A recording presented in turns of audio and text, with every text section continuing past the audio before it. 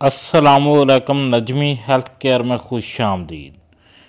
आज हम आप लोगों को एक ऐसा तेल निकाल कर दिखाएँगे।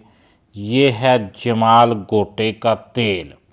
इसके फ़ायदे भी जानेंगे, इसका इस्तेमाल भी जानेंगे, इसको कैसे बनाते हैं, ये कहाँ कहाँ हम इस्तेमाल कर सकते हैं।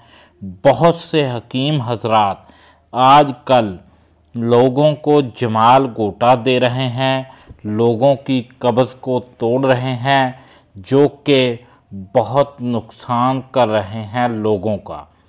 जो जमाल गोटा होता है, इसका एक अगर ड्रॉप्स हो, इसके तेल का एक कतरा, उसका चौथाई हिस्सा इस्तेमाल करवाना चाहिए।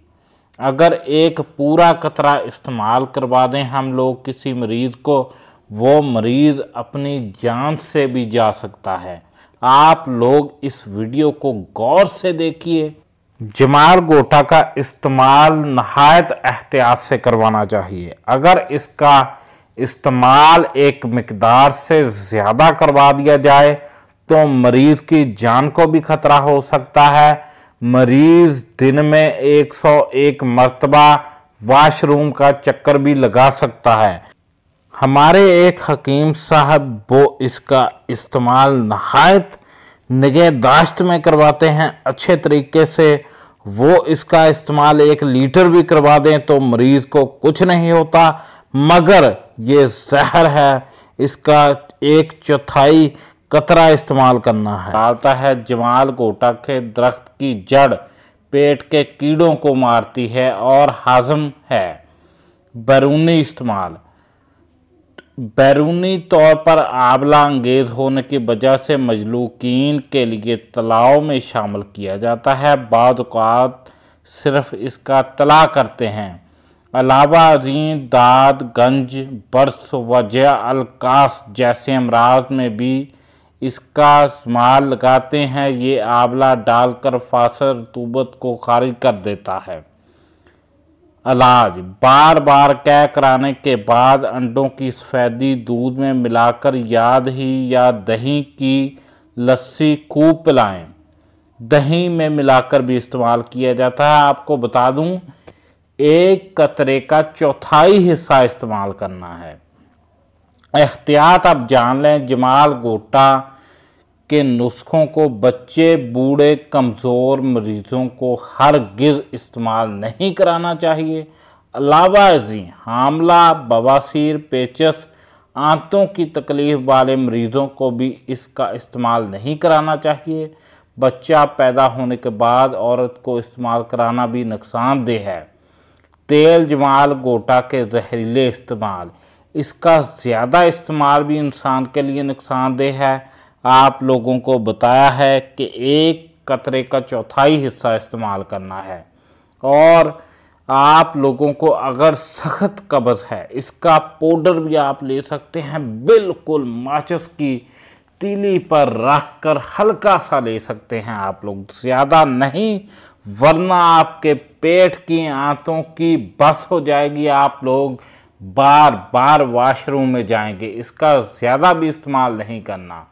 दूसरे तरीके में हकीम हजरात आजकल लोगों की कब्ज़ें तोड़ रहे हैं, खोल रहे हैं। लोगों को दड़ा दड़ जमाल गोटा इस्तेमाल करवा रहे हैं। इसकी जो बन रहा है, जो नीचे गिर रहा है, इसका पाउडर बनाकर लोगों को दे रहे हैं। इन बीजों का पाउडर बनाकर लोगों को दे रहे हैं। पक्की में मिलावट करके लोगों की कब्ज़ें तोड़ रहे हैं। ये सरासर जुल्म है लोगों के साथ। कुछ लोगों को इसका बहुत ज़्यादा नुकसान भी होता है। आप लोग खुदा के लिए अपने अच्छे हकीम के नुस्खे पर अमल करें और इसका इस्तेमाल बहुत एहतियात से करें। ये जहर है। ये जहर होता है। आप लोग इसका इस्तेमाल नहायत एहतियात से करें। किसी अच्छे हकीम से जो जिसके पास सनद हो, उसके पास जाकर इसका मशवरा लें, फिर इस्तेमाल करें। कहीं आप लोग गलती में भी किसी को ज़्यादा इसका इस्तेमाल ना करवा दें, उसकी जान भी जा सकती है। ये एक किस्म का जहर होता है। आप लोग खुदा के लिए बचें तरह तरह के हकीमों से बच जाएँ। जो लोग जमाल गोटे का इस्तेमाल करवाते हैं, लोगों के साथ फ्रॉड करते हैं फकियों में डाल कर देते हैं। लोग बड़े खुश होते हैं जी, इसकी दवाई से तो हमारी कब्ज खुल गई है। हमें तीन तीन क्या पाँच पाँच दफ़ा वाशरूम आने लग गया है। वो लोग अपनी ज़िंदगी के साथ जुल्म करते हैं। जो लोग तरह तरह के हकीमों के पास जाते हैं, उनकी आंतें तबाह हो जाती हैं, बर्बाद हो जाता है उनका पेट।